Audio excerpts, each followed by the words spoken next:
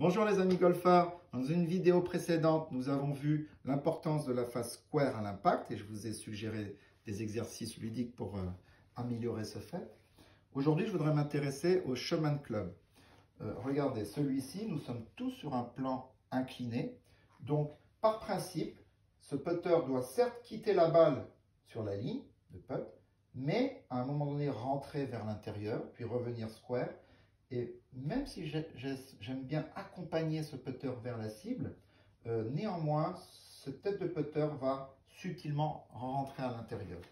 Alors, des exemples euh, de, fautes, hein. si toutefois j'avais un chemin de club qui était clairement trop extérieur-intérieur, il y a de fortes chances que cette balle parte à gauche quand même, sauf si j'ai compensé, mais c'est pas ce qu'on veut, évidemment, on ne veut pas partir dans des systèmes compensatoires.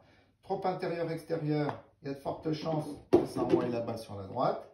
Clairement, ça va être plus facile si nous obtenons un chemin de club bien en ligne, légèrement intérieur et de nouveau intérieur, face square à l'impact.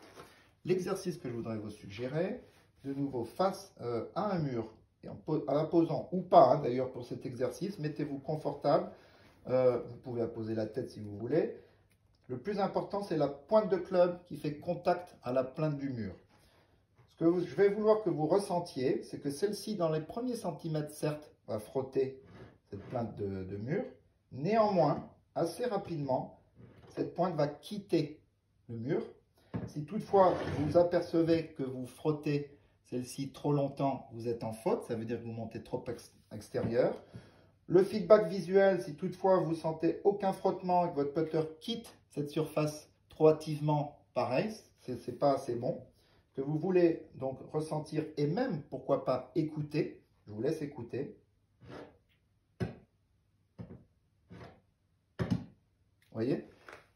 Ma pointe de putter a quitté et a frotté que quelques, ouais, à peine une fraction de seconde cette plainte. Et par contre, dans la zone de frappe, la refrôler, on va dire comme ça, pour de nouveau dans la traversée la quitter.